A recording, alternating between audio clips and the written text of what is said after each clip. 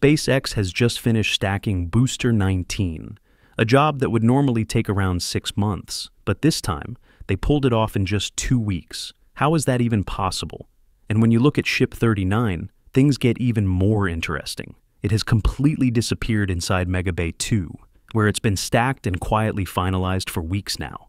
These unusually aggressive moves alone are a strong sign that the Starship Flight 12 launch date is closer than ever. So, where do both vehicles really stand right now? And when exactly is the new Flight 12 launch window? Let's find out in today's episode of Alpha Tech.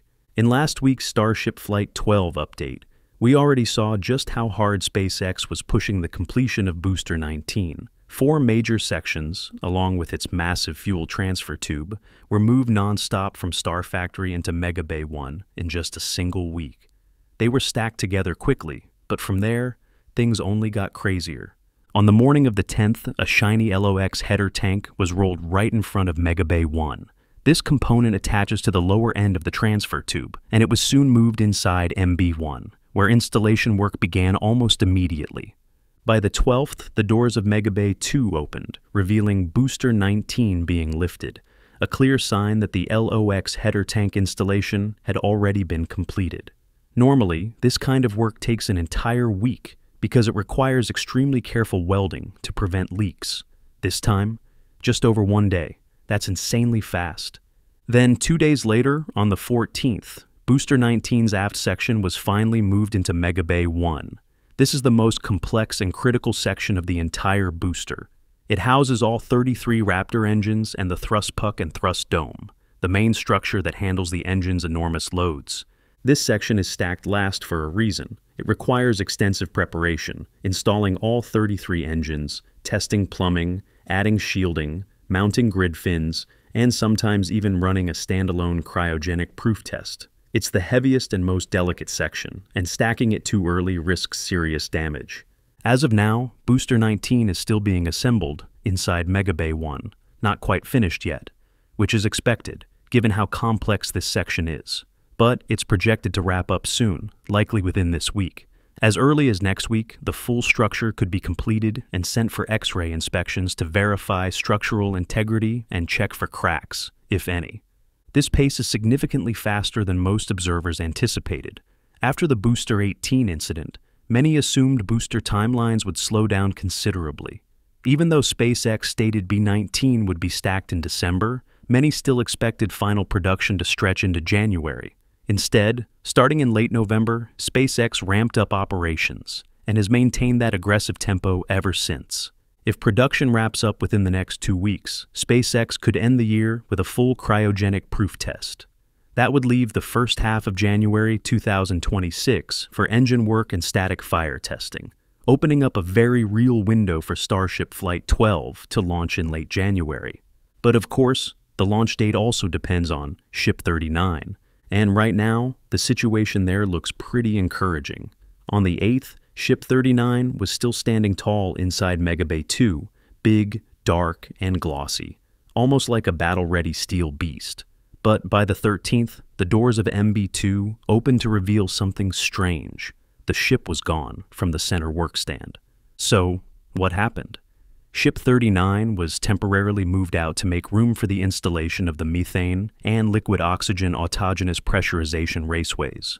Once those structures were lifted and attached to the stand, the doors closed again, and the ship was lifted back onto the stand so the installation could be completed. And sure enough, on the morning of the 16th, the doors of Megabay 2 opened once again, and there it was, Ship 39, right back in its original position. The good news is, Ship 39 is now very close to being finished. We're not far from seeing it roll out for cryogenic testing, possibly even before Christmas. But for Flight 12 to happen on such an aggressive timeline, potentially as early as late January, the rapid progress on Booster 19 and Ship 39 is only part of a much bigger picture. Every system tied to the launch campaign has to move forward in parallel, and one of the most important developments right now is happening at Starbase Pad 2. This new launch pad is being built as a next generation platform designed to support Starship V3, and installation work there is continuing with clear momentum. One of the most notable recent additions is the Service Quick Disconnect, or SQD, which has just been positioned as part of the broader integration process.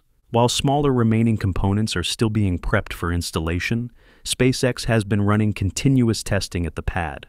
The most eye catching of these tests involves the Flame Trench Deluge system, designed to protect both the pad and the vehicle by dumping massive amounts of water to suppress heat and pressure during high energy tests and launch events. The latest deluge test took place on the afternoon of the 10th, and it wasn't a one off.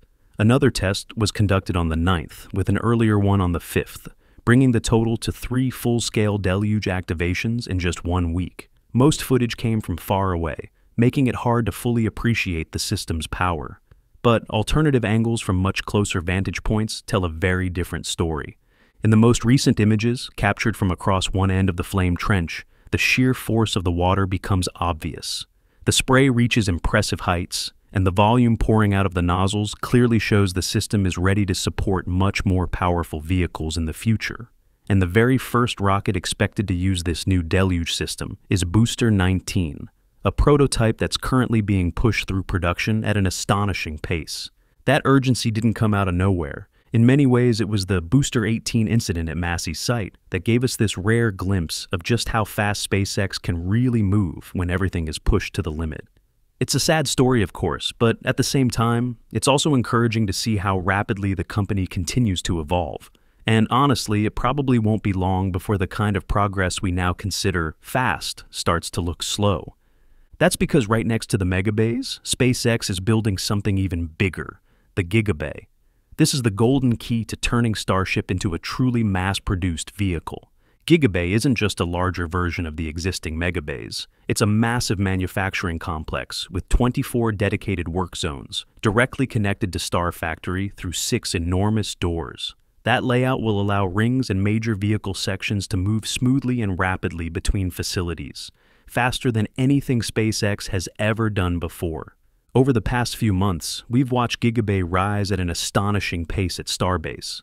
The first steel frame level is now complete, crews are racing to install the second level, and most recently, massive crane components have arrived on site. These four tower cranes are self-lifting, meaning they'll climb higher as the building grows, and in the end, they'll lift the entire roof structure into place, finishing the building from the outside without the need for complex scaffolding.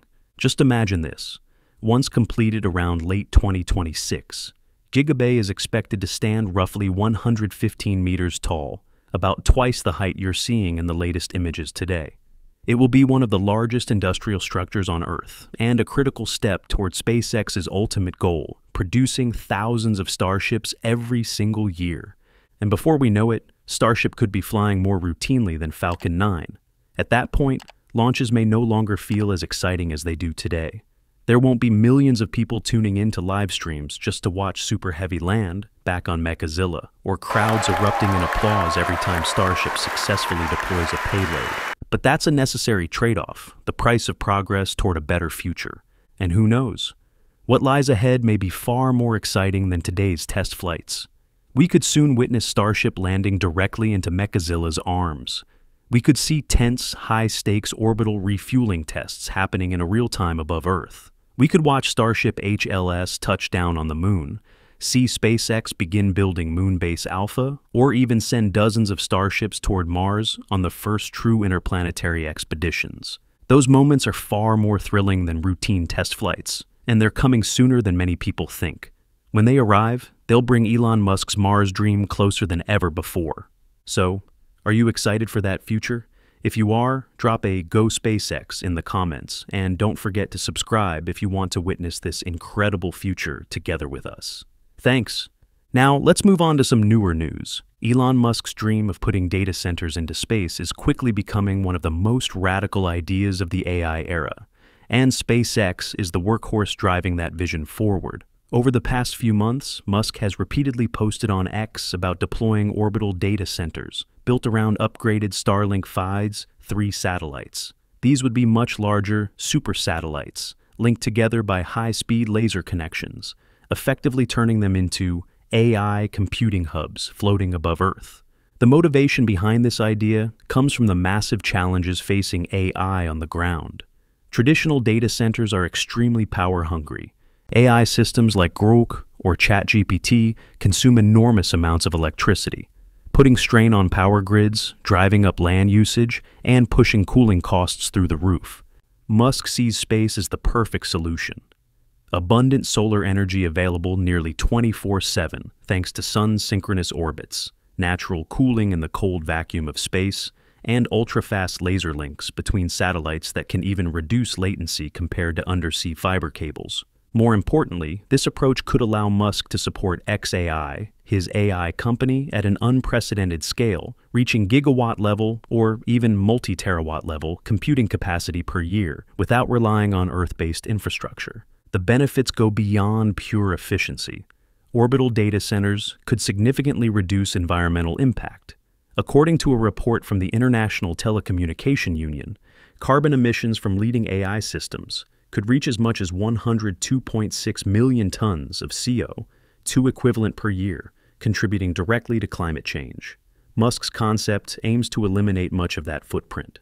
Experts believe SpaceX could actually make this work thanks to dramatically lower launch costs, potentially just a few thousand dollars per kilogram, enabled by fully reusable rockets like Starship making orbital data centers feasible as early as 2027. That said, major challenges remain, including difficult maintenance and the risk of radiation damaging sensitive chips. With a potential record breaking IPO in 2026 that could raise tens of billions of dollars, Musk is positioning this idea as a lever to push SpaceX's valuation toward an estimated $800 billion. This isn't just a leap forward for AI, it may also be a key stepping stone toward Mars, where orbital computing could support long term space settlement. It's a crazy idea.